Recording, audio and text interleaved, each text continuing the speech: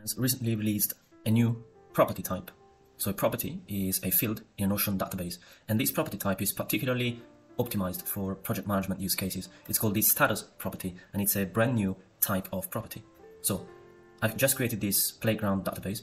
It's potentially a task database because the status property can be particularly applicable to tasks and projects and project management in general. So let's look at the features of this property and how it could be applied in a overall system of project management. So the first thing I'm going to do is click on plus here and create the new status property. Let's call this status and type will be this one right here, status. Whereas until now, we were used to selecting the select property to create statuses in a task management system where you would manually create options for to do, doing, done, or whatever in between you have. But the new status property comes with those options pre-populated as you can see it right here. So let's open the edit property panel. And you can see there are three main groups in the status property, and these are the default groups to do, in progress, complete. Within those groups, you can create sub statuses. And this allows you to cluster statuses based on the general timing of a project or a task. So for the to do section, for example, you can add a new status that is feasibility study. And now you will have two statuses for the to do section feasibility study and not started. So not started maybe could become ready to go.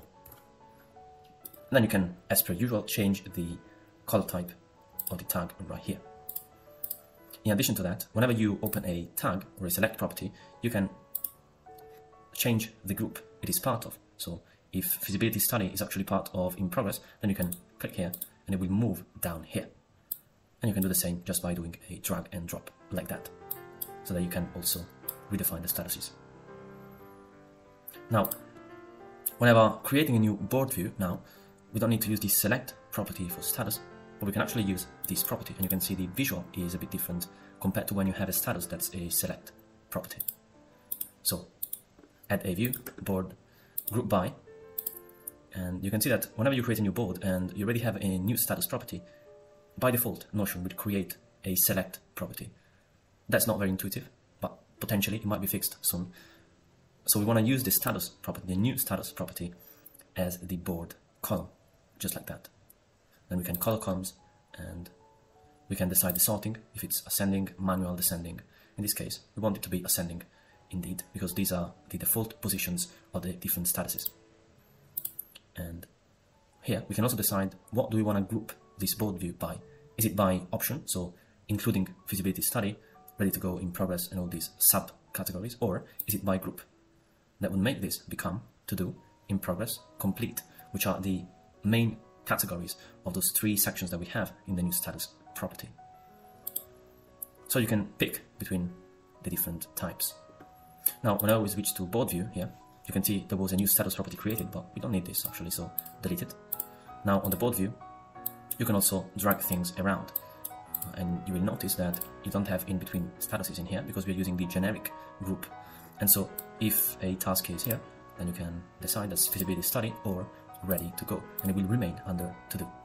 If you want a more granular categorization, then you just go to layout, group by status, status by option.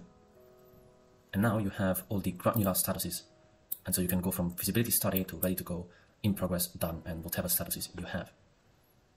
On the table view, those changes will reflect. So if something is in feasibility study, then here you go. And on the table view, you can also select the status, and the visual is just like this, grouped by main categories. Then you have all the options in here.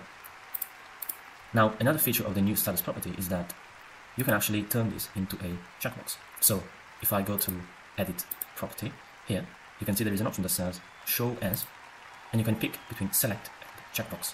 So right now, we have seen the status property in select mode. But what if we switch to checkbox? So the first thing that we can notice here on the screen is that the main groupings and options remain. So everything looks the same. But if you look at the table, now we see there is a checkbox right here instead of the status. And if I click on that checkbox, it is checked off. So if we go back to board view, however, we still have the capability to see our tasks grouped by the different statuses. And let's say this task here is ready to go. And now we start working on it, so it becomes in progress. Let's go back to the table view, and you'll see that the checkbox is half full. That means that this task is in progress. So this checkbox view is just a different way to visualize the new status property. If it's to do, then it's empty. If it's in progress, it's half checked. If it's complete or done, then it is fully checked. And you can only have the half checked box if you move the card here on the board. Manually, it's not possible to get the half checked box. So if I click on task 2, it's either fully checked or unchecked. There is no in between. And if task 2 is completed, so if I check it off, now let's go to board, and task 2 has indeed moved to done here on the board view, which is what we want. And those are the main features of the new status property in Notion. In an overall project management system, this status property can be especially used for tasks and projects or product management as well. And the groupings can also depend on your specific departments. Let's say you are in product management and you want to have the design process as well as the engineering process all interlinked. And the new status property with the groupings can allow you to ensure that there is clarity of statuses across your departments all the way through the development of your product. And that is it for today. Thanks for watching and see you soon.